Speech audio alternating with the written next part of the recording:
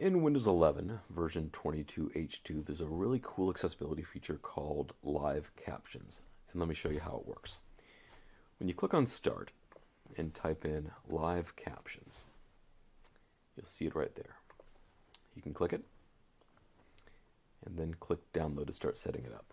What this does is give you closed captioning on anything that you watch on the internet, whether it has closed captioning or not. It transcodes it in real time and gives you live closed captioning for both videos or any calls you might be making over the internet. It gives you closed captioning to what the other person on the other side is saying. All right, so by default, it's up on top. And if you want to change that, you can do um, this little gear, positions, you can do bottom, or if you want, you can do position and just kind of have it floating around the screen. Personally, I'm just going to stick with it on the bottom.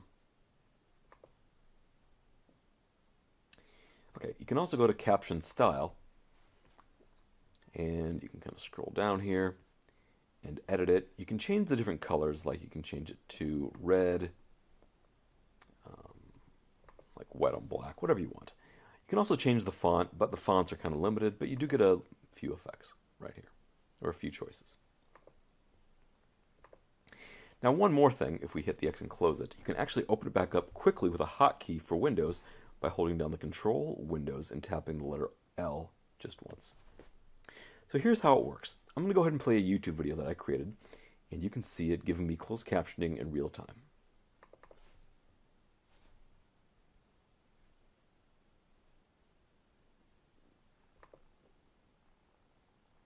Now, if the backup says fail, it means that it couldn't back up one or more files. So just go ahead and close all your opened, run syncback again, and this time it'll probably back up the file that was currently in use. With any luck, next time it'll say success. If it says scan failure, it just means that it can't find the backup drive to back up to. So first, just unplug the backup drive and plug it back in. Open.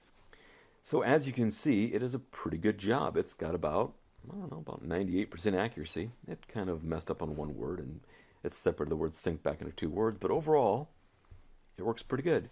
So if you know anybody who has um, hearing aids or needs closed captioning on videos, this is a pretty cool feature. And it's only available for the latest version of Windows 11, version 22H2. And you can check which version of Windows 11 you have or which version of Windows you have in general by clicking Start, typing in WinVer, and pressing Enter. And here this says Windows 11. In fact, it says version 22H2. Well, there you go. That is live captions in Windows 11.